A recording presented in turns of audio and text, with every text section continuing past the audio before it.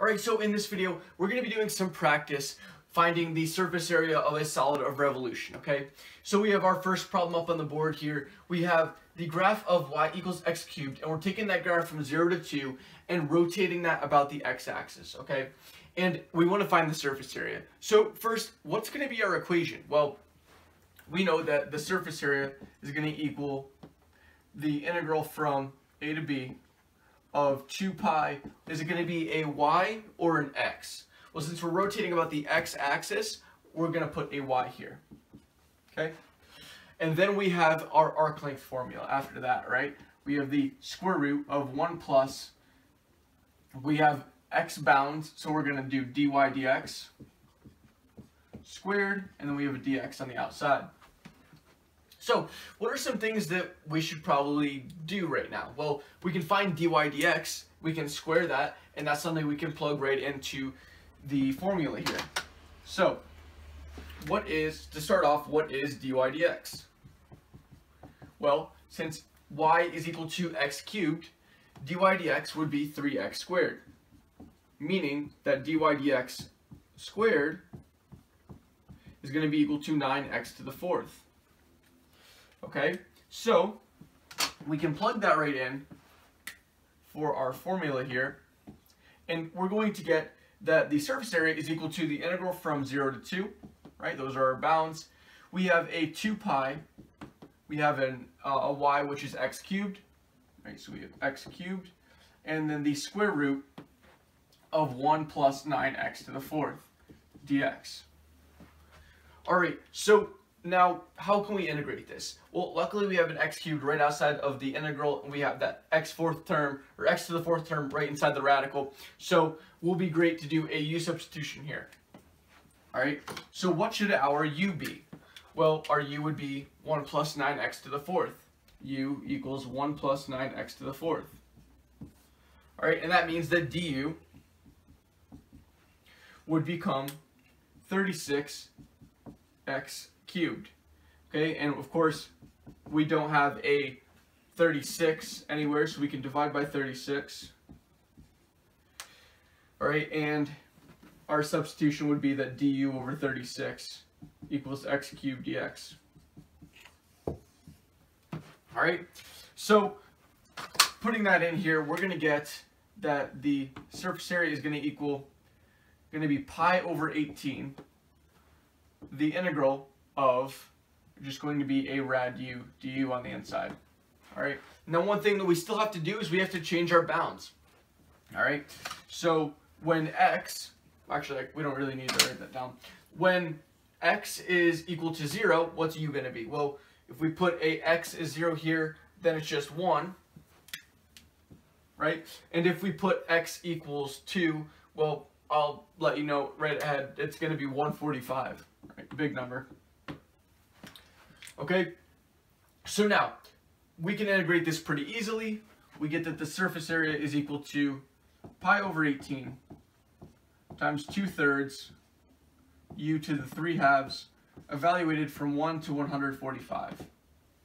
So that means the surface area is now equal to, well, we're just going to get a pi over 27 and then we can do our evaluation which is going to be 145 rad 145 minus 1. Okay, now, like I've said this in other videos, but remember that u to the 3 halves, like u to the 3 halves of 145, something like that, you know, it's that number, rad that number. And if you know that, it's going to help you. It's, you know, it's, it's much easier to just write it out really quick rather than trying to figure it out, maybe in a calculator or something like that. Okay, so anyways, uh, that's your answer for the first problem.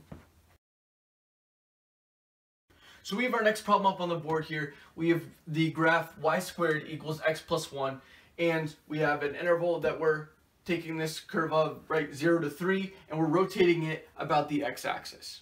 So first off, we need to solve for y here, okay, right? We have x bounds, okay, so it's probably best to just take a radical on each side and, you know, solve for y. So we get that y equals the square root of x plus 1. Now, quick question, why didn't I include a negative, or, you know, like a plus or minus, something like that? Well, we're rotating it about an axis, right? So that means that it doesn't matter if we were to put a plus or minus here or not. Okay, think about the graph, okay? Rad x plus 1. Something like that, right? If if we were to include this graph, right, the, the minus part, doesn't matter, okay? Because when we do our rotation about the x-axis, right, or this is actually going to be like this, and then, yeah, right? It doesn't matter because we're rotating about it. We're already covering where that graph was anyway, okay? So there's no difference if we just leave it as rad x plus 1, okay? Okay, so we have our graph now. Now, what's our formula? Where our, for well, our formula is going to be exactly like it was before. Okay, surface area is going to equal the integral from a to b of 2 pi y the square root of 1 plus dy dx squared dx. So what is our dy dx? Well, that's just going to be 1 over 2 rad x plus 1. Alright, just like the, you know, if you're taking the derivative of rad x, it's 1 over 2 rad x. Well, since this x doesn't have any coefficient in front of it that's, you know, something other than 1, we, we can just disregard it. Okay, so it's 1 over 2 rad x plus 1. And anyways, now we square it. To get 1 over 4 times x plus 1. All right, so great. Now we've squared it. That's something we can put into our formula. So we're going to get that the surface area is equal to the integral from right our bounds 0 to 3 of 2 pi times y, which is going to be rad x plus 1. And then we're going to multiply that by the square root of 1 plus 1 over 4 times x plus 1.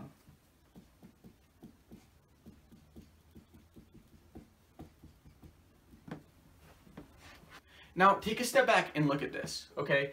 You have a rad x plus 1 here, okay? What do we know about that, that y, okay? Well, that y ends up, usually, if it's a radical, it'll end up maybe canceling out with something. That's kind of how these problems are structured, right?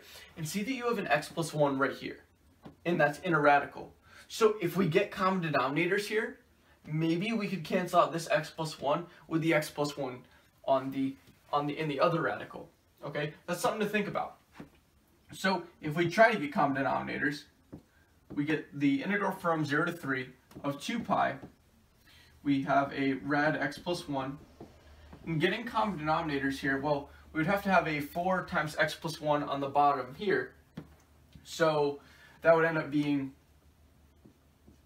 4 times x plus 1.